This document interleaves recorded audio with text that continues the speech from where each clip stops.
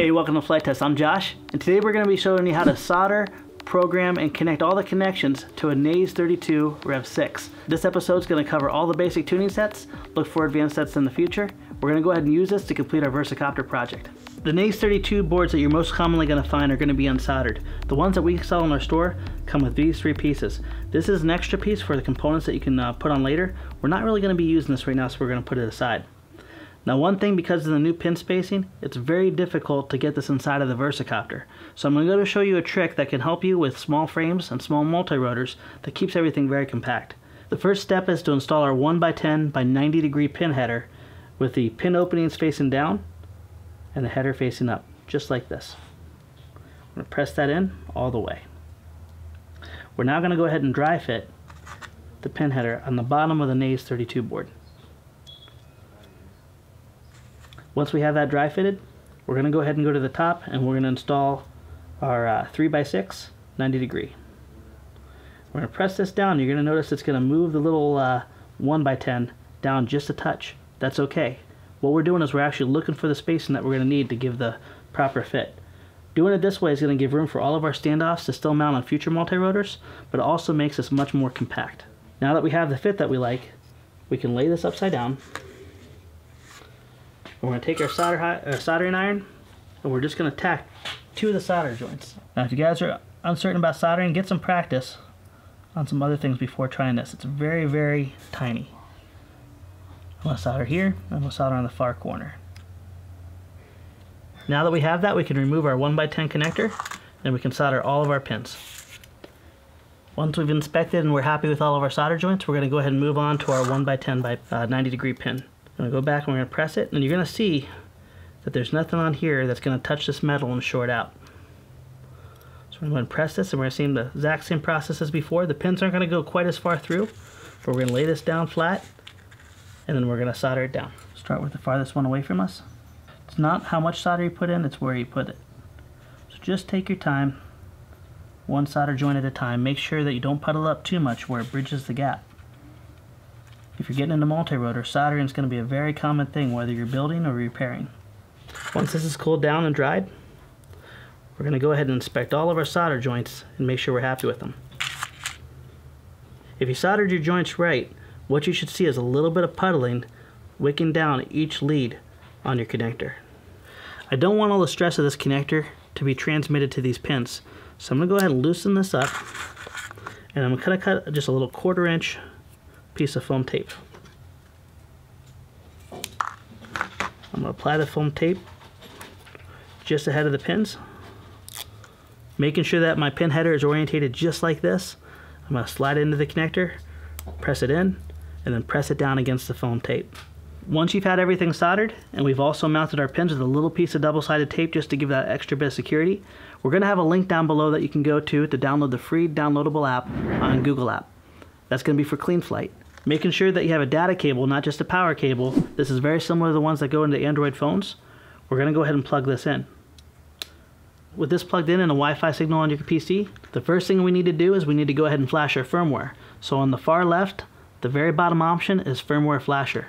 We're going to go ahead and select our Naze board, and when choosing the version, don't select a version that's older than 1.11.0. Always check for the most recent version and try it out. If you have any problems, you can always revert back to an older version, but 1.11.0 is the first version that will work on a Naze 32 Rev 6.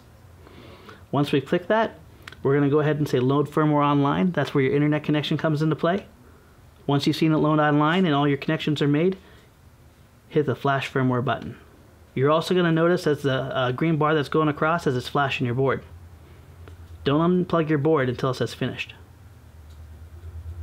Programming successful. There we are. From this point on, we can go ahead and we can go up and hit the connect button in the upper right hand corner. When we do that, we should be able to move around our Naze 32 board and see a graphical representation of our quadcopter moving exactly with it. Now that our board is flashed and we can see it reacting on the PC to our movements with the board, we're going to go ahead and make our connections. You're going to notice in the upper right hand corner that we're going to have a diagram. That diagram is going to help you mount motor 1, 2, 3, and 4. To make our connections, we're not going to go ahead and just leave this upside down because if we went in the orientation, it would be backwards. What we're going to do is we're going to flip this upside down and have all of our leads nice and neatly dangling. We're going to go ahead and grab our bottom right one first, which is right here, and we're going to plug it in. Now you're going to notice when we plug it in, you're going to see one, two, three, all the way through 6. Where number 1 is, that's going to be our signal lead. Ground is closest to the edge of the board. We're going to go ahead and plug, plug number 1. In this case, the signal wire is orange, or it's going to be white on some other ESCs. Motor 2 is going to be on the top right, motor 3 bottom left, and motor 4 top left. Now we have two extra connectors that we don't need. To remove the extra wires, just take the tip of a razor blade and pop the little keeper then slide the wire on out. You can put these aside and save them for later. Now that all of our ESCs are plugged into our control board, our next step is to plug it into your receiver. In this case, we're going to be using the Graupner GR, uh, GR12L. Now keep in mind, where the signal wire is in this case is on the very bottom. So you're going to want to make sure you put your signal wires on the bottom, ground on the top. The only connector that has the ground is going to be our pin number one. That's the three prong pin here. And in this case, blue is the ground and purple is the signal. So we're going to go ahead and flip that so it's pointed just like that. From that point on, we can follow the process where brown is number two, plugging on the bottom, then green, then yellow, and orange, and then black. Now, provided that we have our receiver bound to our transmitter, which if you haven't done already, go ahead and do so. We're going to go ahead and make our connection with Naze board and the computer. On the upper right hand corner, we're going to hit connect. And you should see the Naze board acting just like we had before, where it's wiggling right along with the motion. Our next step is going to be to power on our transmitter and plug in our battery. Make sure you have no props on at this point or any other point until we're ready to fly the machine.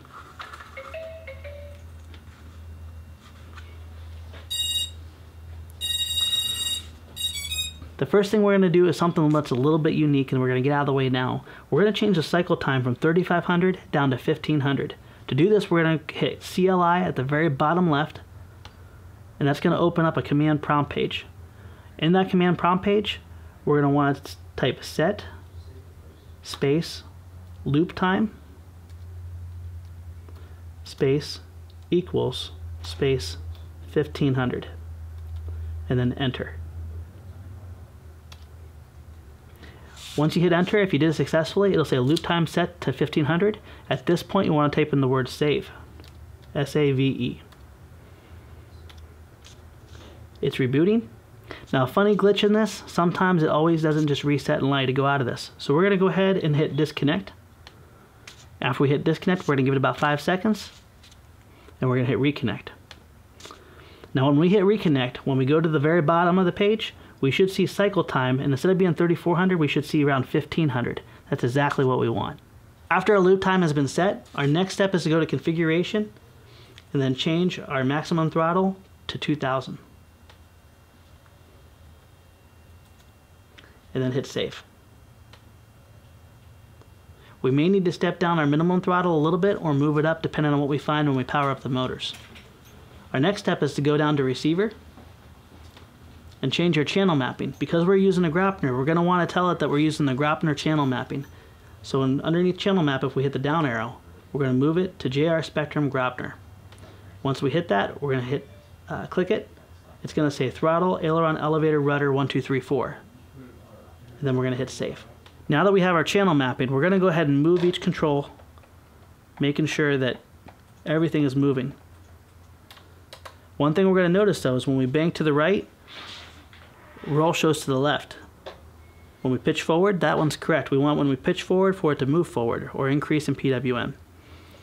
When we move our yaw stick to the right, it should go to the right. This one's going to the left. And when we increase throttle, we have an increased throttle on the map. That's good. So in this case, we need to reverse roll and yaw.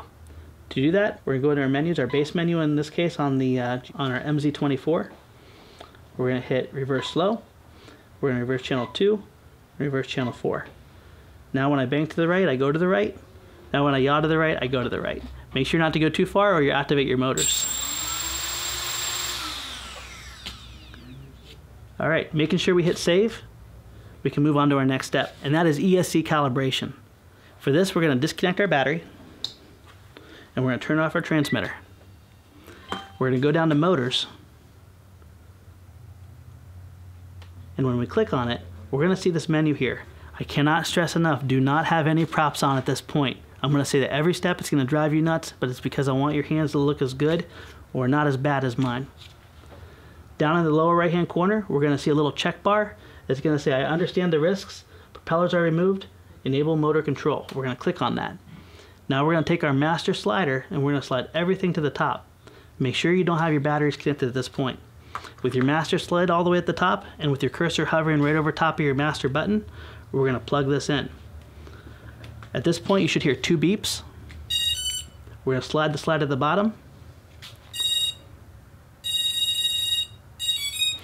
And now when we slowly advance throttle, all four motors should start at the exact same time. Now one thing why I have this facing up I want to point out, all of our E-Packs are now sold with standard threaded motors instead of these reverse threaded. We got a lot of really great feedback that people were losing their little propeller nuts. We do have those for sale, but we didn't want people to have to constantly go back and buy them. So what we did is in all of our E-Packs, we have an extra set of lock nuts with standard thread. That way you have extras. And that way in case you lose them on your reverse threaded or on your um, motors that run in a reverse direction, you have extra lock nuts. So now all four motors come with these silver tip motors that have standard righty-tighty, lefty-loosey threads. While we have this slider and this motor option open, the next thing we can do is we can make sure our motors are in the right direction and double check to make sure everything is properly orientated. Number one is one, two is two, three is three, and four is four. So the first thing we're going to do with this activated is we're going to go to motor slider number one and we're going to slide this up. This should be the bottom right motor. And that's correct. Now along with the motor being correct that's running, we want to make sure it's spinning in the proper direction. If you look at your diagram, you're going to notice a little arrow telling you which direction it should go. So when we power this up, we're going to look for the motor to go that direction. And it does. Now let's go ahead and check motor 2, top right. And the direction should be spinning in, and it does. Number 3, Perfect. Number four is going to be the top left.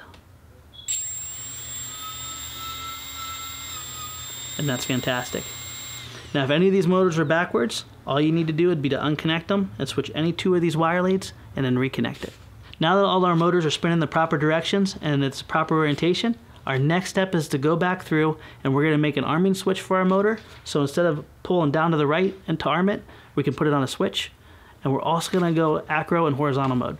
To change these modes, we're to click the modes button. It's about right in the middle on your far left menu screen. The first one we're to see is arm. For arm, we're going to go ahead and add range. And for this step, we're going to need our transmitter on. Our battery is still plugged in, so we're good to go there. Now, every radio is different. In this case, I already put my arm switch on a three pole switch right here. What I want is I want the very top to be my arm switch. So as you can see, when I move this around, my little dot moves with me.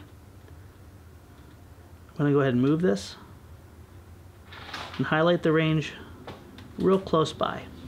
That way, this lower switch doesn't do anything and the very bottom doesn't do anything. I have to have it all the way up to arm it. Once I'm happy with that range, I'm going to hit save. And you can see it locks it in. Now while we're talking about ARM, this is a really high RPM and I don't want that. I want to be lower. To lower it, I can go back to configuration and I can go to minimum throttle. Let's go ahead and change this to 1090 and see how it feels. We'll hit save. Now when I arm it, it's much lower now. Let's go ahead and move it just a little bit lower. Let's go down to 1080.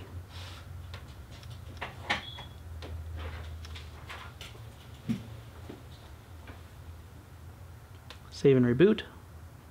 Let's go back to modes.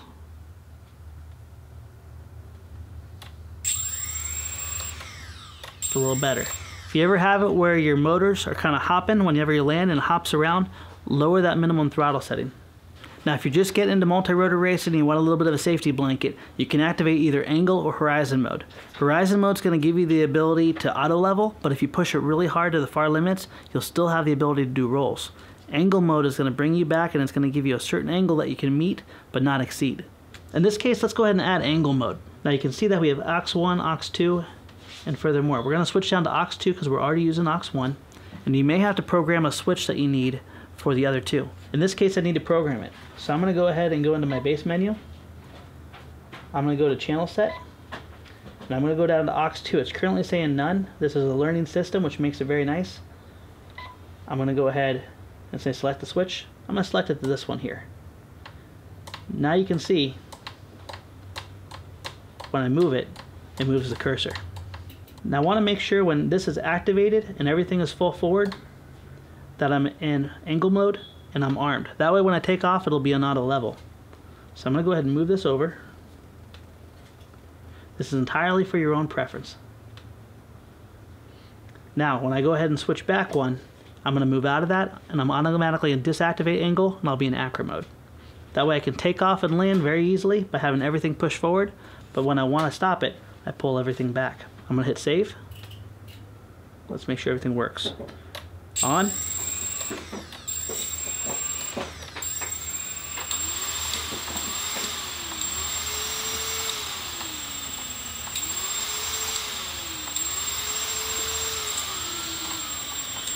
You're going to notice when we activate angle, a little red LED that lights up.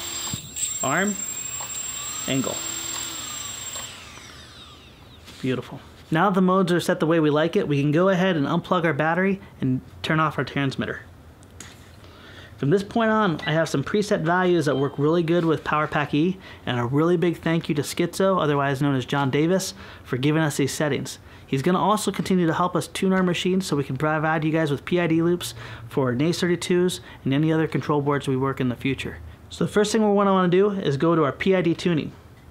On PID tuning, we're going to want to make sure our PID, our PID controller is on multi-wii, rewrite, and our profile is 1.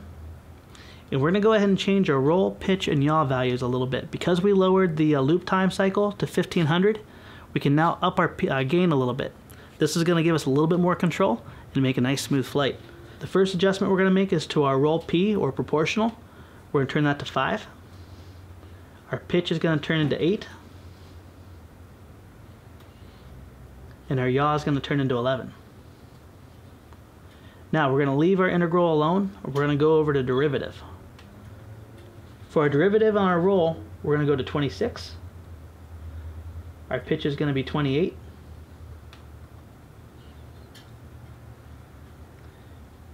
And our yaw is going to be 8. While we're on this page, we're also going to go to our roll rate and change it to 0.5. And do the same with pitch and yaw.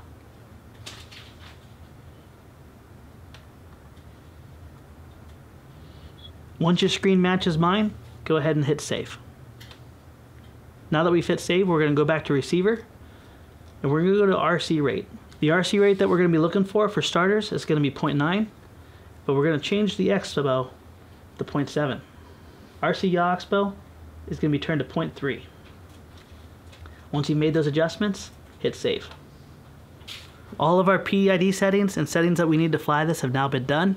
We're now going to move the button and everything up and getting ready to fly the Versacopter. Let's go ahead and start by disconnecting this. And we're going to flip this over. At this point, we're going to route the wires and we're going to mount the board to our little board mount that's going to enable us to make the USB accessible through one of these little side holes. To mount our Naze32, we're going to use this little mounting plate that's included in our kit. This mounting plate can clip on in multiple different areas. The area we're going to focus on is going to be in the front, and we're going to stagger our board back just a little bit so the USB lines up perfectly with a little hole in the side. We're going to use some very good quality foam double-sided tape. Now on the one side here, we're going to roll this back just a little bit, and we're going to roll the edge. That's because that little mounting, we're going to tape to the little uh, connector that we fastened down. Yeah. We're going to go ahead and fold this over two times. Making a little ridge, just like that. This is going to cup this little board right here very nicely. We're going to pull our leads down through the back so we can route our antenna down to the rear of the Versacopter. We're going to press down our foam tape. This is going to make a nice flat mounting surface. It's also going to protect our wires if they get pulled. Let's go ahead and remove the rest. And I'm going to use a little gremlin here to make sure I can orientate what's the bottom and the top. I'm going to have his feet going towards the bottom of the Versacopter and his head going towards the top. I'm also going to make sure that I line up the USB with the center dot. I'm going to move this over, find the very center of my control board, making sure I'm happy with the positioning for the USB on the dot here. And it's centered on the control board, I'm going to press it down. So to test fit this, I'm going to make sure that this little arrow is pointing towards the front of the Versacopter. And when I press this down in the notches. Now if we did everything right, when we look through the side, we should have nice easy access to our USB connector. Now that we're happy with the placement of our control board, we're going to go ahead and route these wires and make them neater. Keep in mind that we don't want it in between the USB and the sidewall. So I'm going to go ahead and go about mid down, uh, midway down.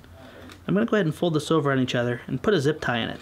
The idea of this is to be designed where if you have to do any kind of field repairs or servicing or open it up, it's very easy to access it and fix it and get back flying again. Now we're going to make sure our little feet on our guy are facing the right direction towards the bottom. We'll tuck this in. Everything looks nice and neat. Let's go ahead and deal with these wires here. I'm going to pass my antenna up underneath. And now I can pass it through the hole and heat shrink it to our little zip tie that we put on. I want to be able to access the bind plug quickly and easily, so I'm going to go ahead and fasten this down facing up. It doesn't matter which range or way you arrange the receiver, but I do want to get as much of my uh, antenna out as possible. I'm going to put a little piece of sticky back tape, make sure my bind plug is accessible. Just pass it down just like that. Now I can go ahead and route my antenna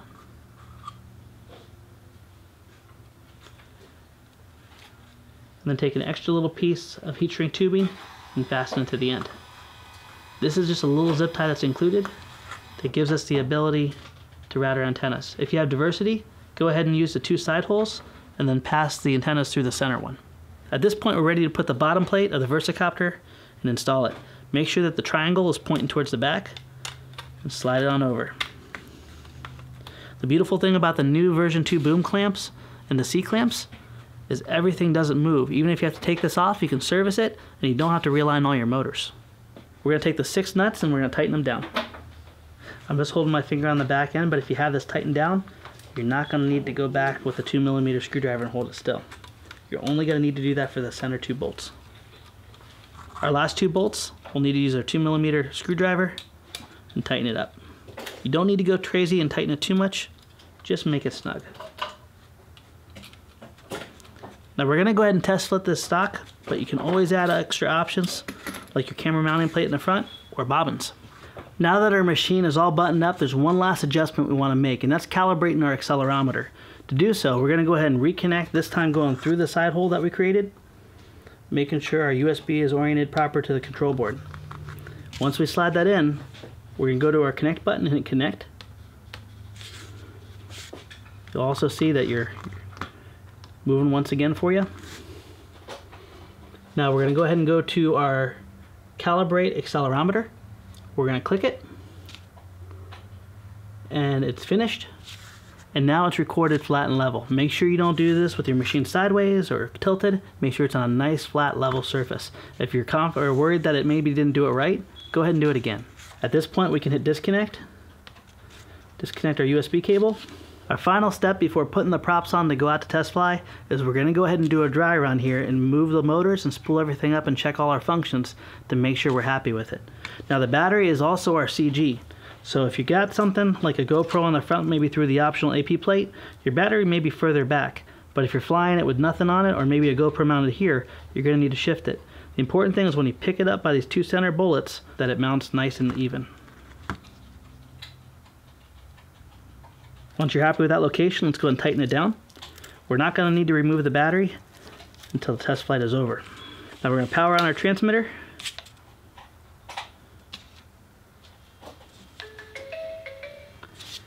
And now we're going to power on our machine.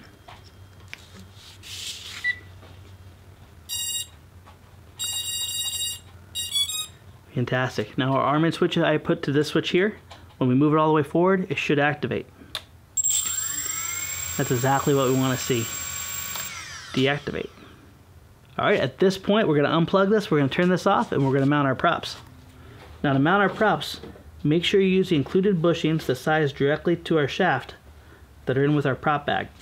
These are going to press into the back of the props, and then the prop itself is going to fit down over the shaft, and then tighten up with the nut. The direction that we want this to go is we want these to swing in, and we want the numbers facing up. It's amazing how easy it is to put the wrong prop on the wrong motor. So take your time. Okay, before I tighten down, we'll check it.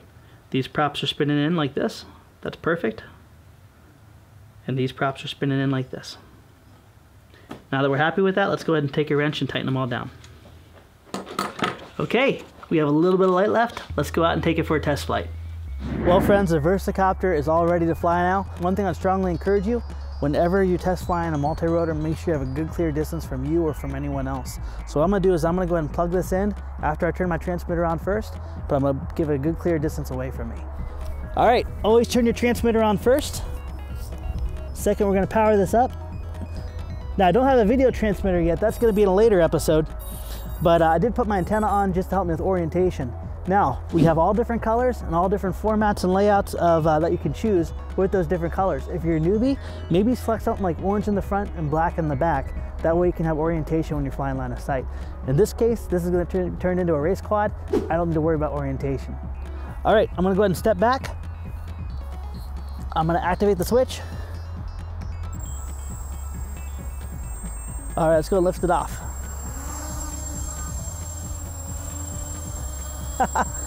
nice. Okay, let's have some fun.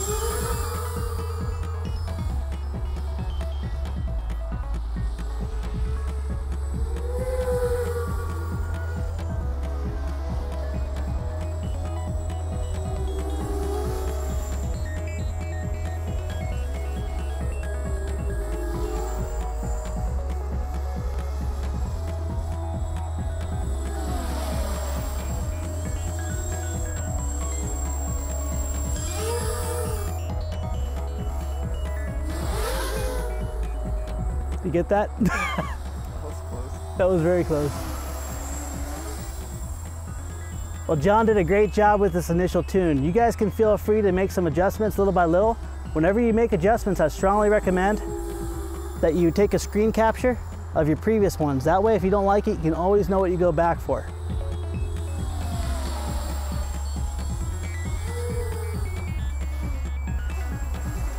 All right, let's go ahead and check out horizon mode. All right, one thing I do see is we need to go ahead and lower our P rates on our horizon mode. For everyone that may be a little bit different.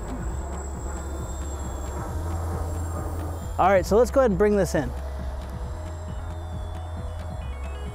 I always like to turn it around at the very end.